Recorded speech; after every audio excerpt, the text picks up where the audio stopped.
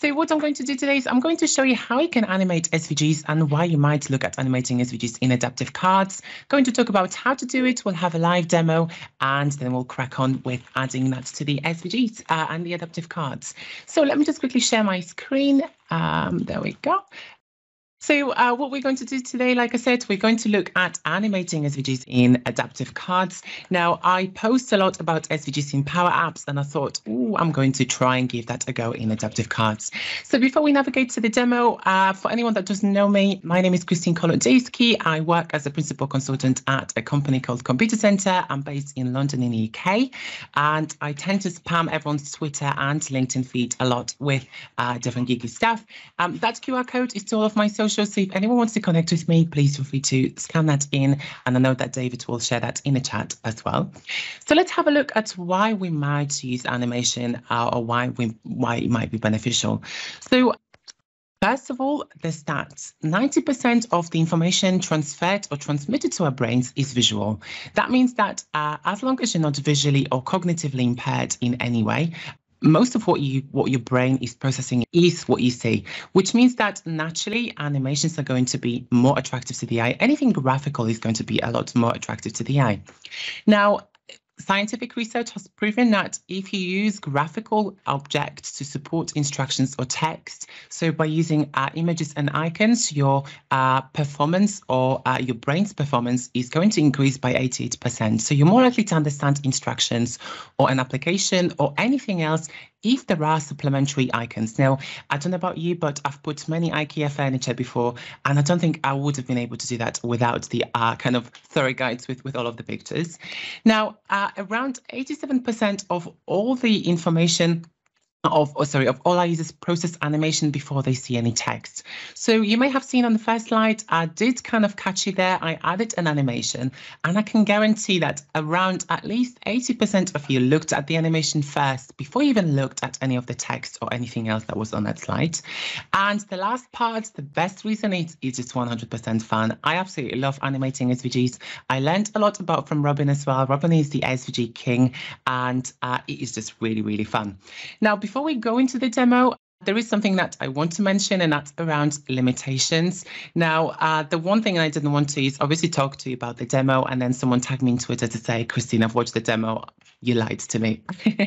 so I have put a couple of limitations. However, last night I came up with another idea on how to overcome the um, limitations, and I'm going to show you that today as well. So the first kind of limitations that everyone will be aware of is that there is a payload limit on adaptive cards. This means that uh, we are limited as to uh, the size of an image or an SVG that we can pass inline. Uh, if the uh, card payload exceeds the limitations that we have, the card will literally just not render in any application. Then uh, by using inline C, uh, in the, SVGs, we do have some limitations around the CSS attributes that you can use. So things like Gaussian blur, linear gradients, and some of the other things are unfortunately not supported in inline HTML uh, uh, within the adaptive card just yet. Again, I have found a way to work around that too. Then uh, they are not supported in model windows. So this is only applicable to uh, the SVGs that are, are written in line as well within the adaptive card. Like I said before, I have found a workaround to this as well. And the last, the worst reason, the best limitation is they are just addictive. So once you start animating things, I promise you there is literally no way uh, back from there. So let's dive into the demo instead. So what we're going to do is I'm going to animate a very basic SVG first, and then I'll show you how I can add that to the adaptive card itself.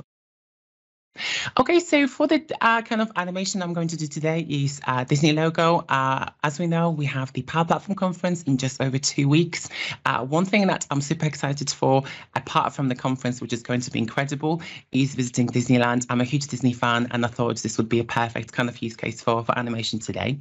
So to uh, kind of go over the structure of an SVG for anyone that hasn't worked with an SVG before, SVGs comprise really of, uh, I guess, three main elements. So we always have the opening SVG tag here. So this is where we will declare things like the namespace. This is what we will declare width, height, if we wanted the view box and all of that. Then we have our object. So that could be a path, as you can see. Now paths will comprise of pretty much tags. These are all the kind of cubic beziers, all of the curves that you get in an SVG or geometrical shapes. So that could be like a rectangle and ellipse, uh, pretty much anything, a circle as an example. And then at the very end of the SVG, we will have the closing SVG tag. Now, if we want to add any styles, we know that we can't link uh, any style sheets within the SVG. We have to use inline styles. So to do that, we have to open a style tag in here, style, and then we'll close that before I forget and then we can start declaring the styles directly within here. So let's uh, start with the selector. So for the selector, we will just use path. We only have one path in here. Uh, if we want to, we can add obviously a class as an example. So we can just say uh, class, let's say uh, we can just do it uh, test as an example, and we can just uh, to test as an example. So you can do that just like you would normally in CSS. Then we'll open the curly brackets and before we start adding any animation, let's actually create an animation. So to do animation with SVGs, we have three options. Normally we have JavaScript, uh, we have uh, CSS, and then we also have what's called SMIL. SMIL stands for Synchronized Multimedia Integrated Language. Now, uh, we know that we can't add inline JavaScript in here, so that's out of the box for us. Um, and then SMIL uh, is great, but SMIL Isn't supported on mobile devices as well. So for today's demo, we are going to use CSS just because it is supported on pretty much every browser, including Internet Explorer. If anyone is using it, hopefully no one is. So to do that, we will start by declaring keyframes. So that's how we do animation in CSS. And then we'll open the curly brackets. Now within here, we have two options. We can either declare the starting and the finishing point of animation. This will be uh, done using from and to, or we can declare what's called checkpoints. Well, I call them checkpoints. I don't think they're actually called checkpoints. So to do that, we can just say, uh, let's just give um, the animation some names. So for the name, let's just start with, as an example, fade. So that will be the name of animation. And let's just say we'll go from and then we'll go from opacity zero. So we want that to be uh, transparent at first, and then we want that to go to, and we'll go to opacity one. So we want this to kind of breathe into our screen. Now, once we've done that, all we have to do is assign that animation to our SVG. So I'm just going to pop that into here and we'll do fade. Let's say duration, we can just do three seconds as an example, and then we can just do infinite, so it's doing it infinitely. And as you can see, that's animated already. Now, one thing that I really dislike is when you can see that resetting point. So you can see that after three seconds, it's just literally resetting the animation. So to counteract that, we can actually use alternate. And alternate will alternate the finishing point of the animation. So you will now see the kind of breathe in and breathe in, uh, breathe out effect. So you can see that it's not disappearing and resetting the animation anymore. It's actually kind of breathing in and breathing um, out. So that's one way of, of doing an animation. Now let's just add some color as an example. So to add color, again, I can add this within this keyframe. So we can declare as many as we want, or we can add another keyframe. I will add another keyframe just because I want to show you a different structure of, of keyframes. So we will just do, let's say, keyframe frames, and then we'll just call it a color as an example. And then we'll open the curly brackets. Now, for this one, we are going to use checkpoints. So with checkpoints, we declare each of the points of the animation at which we want something else to happen. So to do that, we can do, let's say we'll do incremented by 20%. So we'll, uh, let me just quickly do that 20%. And then we'll change, let's say fill to be uh, blue. And then I will just quickly copy and paste because we know we don't want to rewrite all of that. And then we will increment this by 20%. So that would be 60 80 and 100. And all we have to do now is just change these colors. So I can just say, I want this to be green and I want this to be yellow. I want this to be pink and I want this to be, let's say, uh, purple as an example. And then once we've done that, we again need to assign the animation. So we can add the animation straight after this one. We can just separate it with a comma and then add, I think we called it color. Did we call it the English white color? The American white color, perfect. Add the duration as well. So we'll just make five seconds so it's not jittering on the screen and we'll just make it infinite.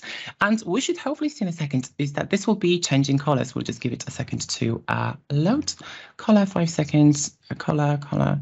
Have we done everything? Um, perfect. Oh, I think I have too many of these. There we go. Let's just quickly have a look. Oh, I'm not sure why that's not changing color. Let's just quickly check what have I done. Have I made a mistake? 20, 30, 60, 80, 100% uh, keyframes. Oh, I'm not sure why that's not changing color. Um, color. Okay, let me just quickly remove that for some reason. I'm not sure what's happened there. How very bizarre. Okay, so we have demo demons, as you can see. I am not quite sure what's happened uh, there. Let me just quickly pop a random snippet in here to see if that will that will work instead. And then let me just quickly call that uh, fade as an example. I'm not sure if my browser just needs refreshing. Okay, for some reason that's not actually loading. I'm not sure what's happened with the uh, browser in here. I will just quickly go on to, oh, that's why. Is it because I had 1000% over there? Okay, so uh, to counteract that, again, I can fix that quickly. So I already have a kind of pre-generated uh, animations for this anyway, so we don't have to worry about that. We will just quickly go to the Disney logo. So this is what I was going to quickly build for you. I'm not really sure what's happened there, so apologies to anyone watching this back. So once we have the animation ready, now we can actually add that to our um, adaptive card. So if you've ever worked with Power Apps as an example, uh, to add an SVG to your uh, Power Apps, the first thing that we need to do is we need to encode the actual SVG itself. So to do that, I will just click on, let's just quickly add an image to here. And the way we do it is we'll just open it in here. So to start with, we will do with uh, data, then we will do image, and then slash SVG plus XML. There we go. Now we can declare the charset as well if we want to. And then after this, this is where we will pop our SVG text. So if I was to just quickly navigate back to my to my um, Disney logo here, we'll copy all of that, Control C, and then we'll go over here, and then we just pop that at the end there pop that into here. And as you can see, we now have this animation in um, in the adaptive card. Now that's one way of doing it. Again, this is quite simple animation. And one thing that I like doing is really kind of creating pretty things. So like neon glows, Gaussian blurs, like I said, and more kind of advanced animation. Uh, so uh, if you don't want to do it this way, I will show you another way of how to do it. So if you've worked with adaptive cards before, you'll know that you can link any image externally from uh, any kind of host website. So last night I was getting very creative and I thought, hmm, how, why don't I find an SVG hosting website as an example, add that SVG there and link it back, and it worked. So what I've done is I have put together a couple of SVGs just to quickly show you how that works. So the website that we're going to use is called SVG Share or SVG I think that's how you say it. So all we have to do in here is we have to add the SVG into here. So I'll just go to choose file. Then we have to choose the SVG. So I'm just going to go for, let's say, the rainbow SVG. Uh, that was actually the cloud and I will just refresh the website. Again, the demo demons are coming in, which is absolutely fine. We always expect that to happen at some point. Let's try that again. And we'll go to Rainbow, go to share, and that will generate the link for us. So now that will generate the link. So all I have to do is I have to go and get the uh, image source of that uh, specific image. So I'll just get that from here. We have to make sure that it has the format at the end as well. Otherwise, it will not render. And all we have to do is if I was to just go to the Sunny icon as an example and go to the URL here, all I have to do is just replace that. And again, this is quite small, so I'm just going to make it slightly larger and we'll do large. And as you can see, we now have that animation. So if you wanted to have some neon glow as an example, let me just change that to dark and we will add one of uh, the things that I have done recently. So we'll just go to add SVG, we'll go to choose file and we'll go for the Xbox one as an example. And I will not show you what that's doing yet. We'll go to share and then I'll scroll to the bottom and get that SVG file from here, Control C, go to adaptive card and I will just pop that on the top here and then if you give it a second, uh, this is an animated kind of drawing neon SVG. So in a second, you'll see the Xbox logo and then it will pop like a neon light. There we go. Again, uh, we have an issue with a bit of a view box around the edges, but that's uh, expected as well. That's something we can uh, fix. And that is it for today's demo. So uh, I've shared the links as well, and I'll pop them in the chat. And I know that David kindly offered to uh, share the links as well. I hope you enjoyed it. And I'm handing over to you, David. Awesome. Thank you, Kristine.